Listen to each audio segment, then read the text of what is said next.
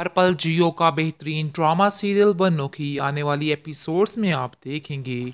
कि बीना की वजह से सानिया की माँ काफ़ी डिस्टर्ब रहने लग गई है। क्योंकि बीना भी इधर आती जाती रहती है, लेकिन ये बात आप देखेंगे कि सानिया की माँ को बिल्कुल भी पसंद नहीं है।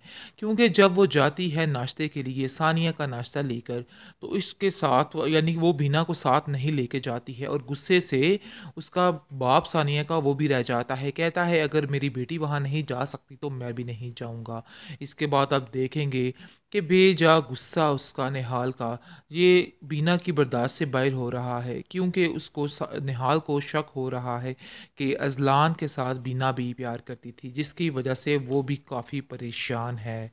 तो नाजरीन, अगर आपको आज की हमारी वीडियो अच्छी लगी है तो काइंडली हमारे चैनल को ज़रूर सब्सक्राइब करके जाइएगा। इन मज़ीद इस तरह की वीडियोज़ आप तक पहुँचाते रहेंगे। शुक्रिया।